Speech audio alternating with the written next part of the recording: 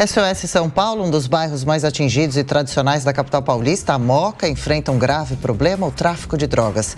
Depois de denúncias, nossa equipe foi até lá para acompanhar a situação. Reportagem especial de Luiz Guerra. SOS São Paulo. São Paulo pede socorro. A Moca é um dos bairros mais tradicionais e antigos de São Paulo. A herança é perceptível pelo sotaque e jeito de se expressar com as mãos.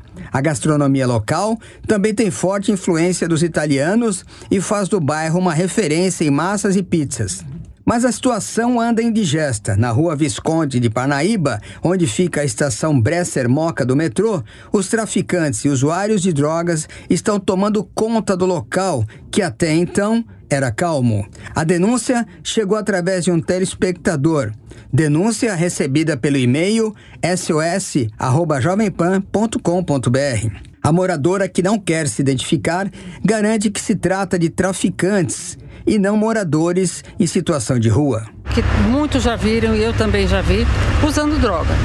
Literalmente usando droga, fora os carros as pessoas mais abastadas que param ali para comprar. É, na realidade, isso é um já ponto de tráfico, né? Sim, com certeza. Nós já, é só anoitecer que a gente já vê pessoas que não são dali, mas estão ao redor.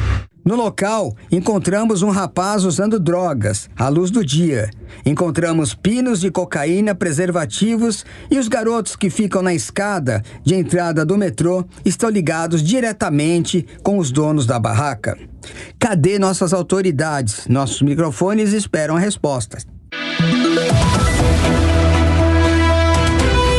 SOS São Paulo. Pois é, o problema do tráfico de drogas é um problema muito sério, grave de toda a cidade, agora chegando e incomodando com motivo os moradores do tradicional bairro da Moca em São Paulo. Se você também tem uma sugestão, uma reclamação ou uma denúncia, participe do nosso quadro especial. Envie seu e-mail para o endereço sos@jovempan.com.br. Participe.